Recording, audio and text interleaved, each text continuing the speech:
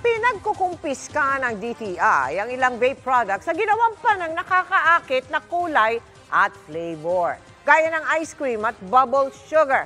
Huh, bawal yan ha. Diyan tumutok si Maki Pulido.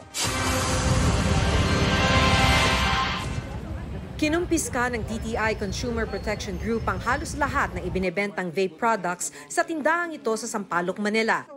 Alinsunod sa Republic Act 11900 o Vaporized Nicotine and Non-Nicotine Regulation Act, bawal ang mga ganitong klaseng vape na makukulay ang packaging, may iba't ibang flavor pa.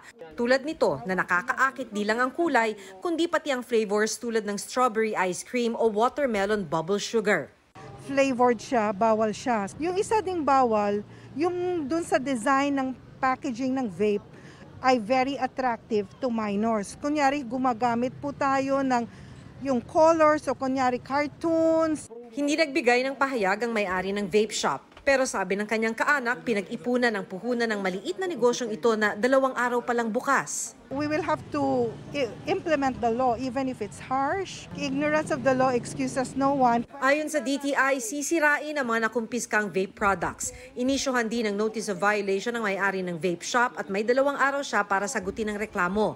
100,000 pesos ang multa sa unang offense, 200,000 sa second at 400,000 sa third offense at ang kasunod na ay ang pagpapasara ng negosyo. Malaking hamon daw para sa DTI Consumer Protection Group ang pagbebenta ng mga ito pero minomonitor raw nila ng mabuti ang online platforms.